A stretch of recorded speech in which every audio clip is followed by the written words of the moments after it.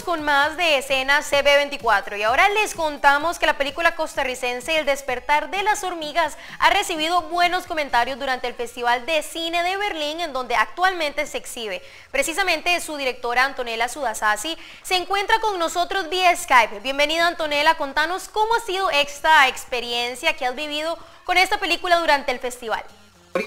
Porque, bueno, primero que las tres funciones que ya hemos tenido han estado llenísimas. Bueno, casi, bueno, hemos tenido realmente cuatro, porque la primera fue con prensa e industria, pero tres con público y todas, todas las funciones han estado llenas, llenas, llenas.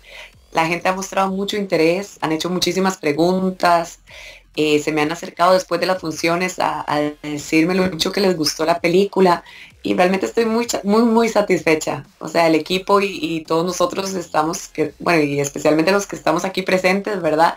Estamos en otro mundo, súper felices. Nos alegra muchísimo saber el éxito también que ha obtenido esta película, pero ¿qué significa para vos, bueno, como mujer, como cineasta, poder llevar una película a un festival de cine con esta magnitud? La prensa especializada ha tenido comentarios muy positivos. Pues bueno, es un honor realmente. Eh, son pocas las películas que llegan a un festival tan importante como Berlín y, bueno, esta es la tercera película, eso es un detalle importante, ¿verdad? Es la tercera película de una mujer directora costarricense que llega a la Belinale. Entonces, sí, es un gran honor realmente. Eh, somos pocas las mujeres las que hacemos cine en general y todavía somos menos las que hacemos cine en Centroamérica.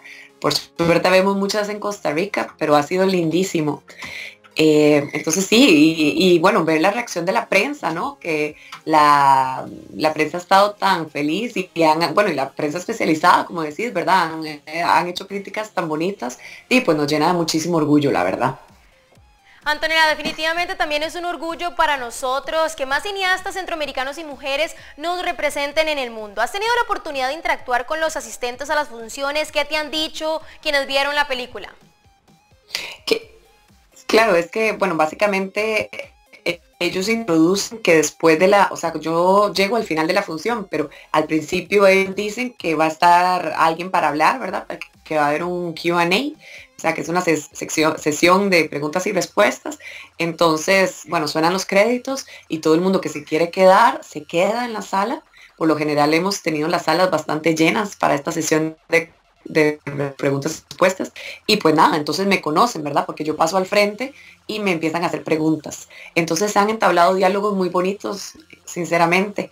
Y después de que nos han echado ya dos veces y media, ¿verdad? De la sala, porque son tantas las preguntas que hay que nos terminan diciendo, por favor, ya, bueno, esta es la última pregunta, si quieren seguir haciendo preguntas, acérquensele a la directora posterior, posteriormente, después de salir de la sala, ¿no?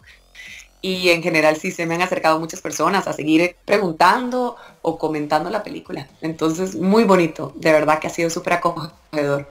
Antonella, entonces sin duda es algo increíble porque las personas prácticamente pueden darte eh, sus comentarios en tiempo real y sus impresiones sobre el despertar de las hormigas. Luego de este festival, ¿cuál es la ruta que tendrá la película durante este año y planes de proyectarla en otros festivales?